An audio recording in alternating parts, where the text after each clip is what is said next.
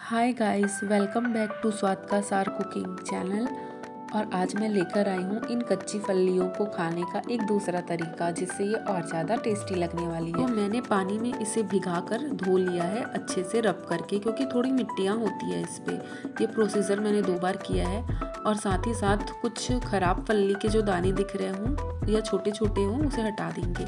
इस तरह से पानी में ऊपर आ जाता है फल्ली, फिर हम ऊपर से इसे उठाकर कुकर में डालेंगे, क्योंकि इसकी मिट्टियाँ कुछ होती है, वो नीचे नीचे बैठ जाती है। तो इस तरह से मैंने प्रेशर कुकर पे ये फलियाँ निकाल ली है। इस पर मैंने डाला है दो ग्लास पानी का और आधा चम्मच नमक। और हम इसे चढ़ा देंगे फ्लेम पे। एक सीटी हम हाई फ्लेम पे लेने वाले हैं और लो फ्लेम पे लेंगे दो सीटी। उसके बाद इसे पूरी तरह से हम ठंडा कर लेंगे।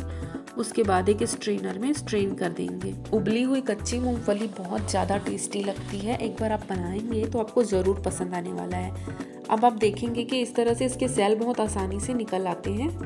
और इसको छिलने में भी ज़्यादा दिक्कत नहीं होना है। अब इसे दबा के मैं आपको दिखा देती हूँ, ये इस तरह से बॉइल्ड हुआ हुआ है। तो ये बहुत ज़्यादा भी मैसी नहीं हुआ है, इसी तरह से ही इसे करना है, इससे बहुत ज़्यादा टेस्टी लगेगा। इसे आप इसी तरह से खा सकते हैं। साथ ही आप इसकी अन्य रेसिपी भी बना सकते हैं, जैसे कि सैलेड या फिर चाट।